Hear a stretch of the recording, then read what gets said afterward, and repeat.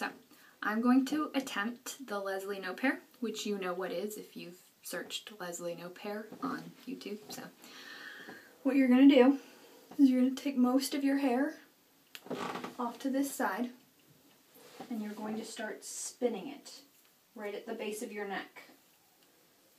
You're going to take it all the way over to the other side of your neck. Have bobby pins handy. Good ones too, not the ones that fall apart. You're going to slide one in off to one side.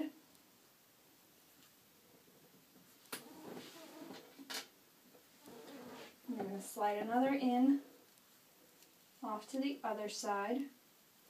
Nice and secure so that nothing is moving or anything. Basically what you've got is just the one side here. You're going to take about a third of that hair, right here. You're going to flip it up and make sure this tip here isn't sticking out. You want it to curl under. And you're just going to bring it across. And then you're going to do the same thing with that side. Okay, and then you're going to take the rest of your hair here.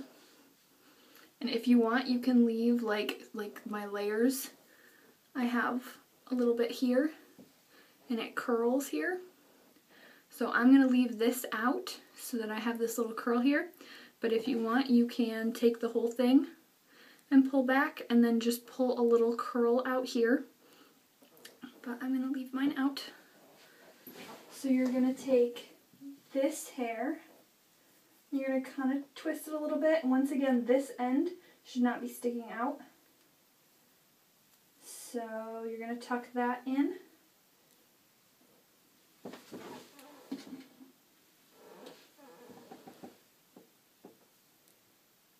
And you're going to pin that side.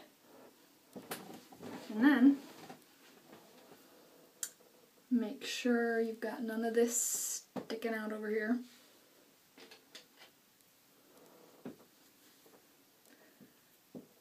And there you can just pin it right back. And if all has gone well, see if can get this thing off. You've got Leslie Knope hair. Like I said, you can pin this back and then have just a curl out here like she does. But I like to leave that down because it feels a little bit more 20s. Anyways, that's my best guess on how to do the Leslie Knope hair. Also, if anyone knows how to find that little blue polka dot dress, please comment right down there. Thanks. Bye.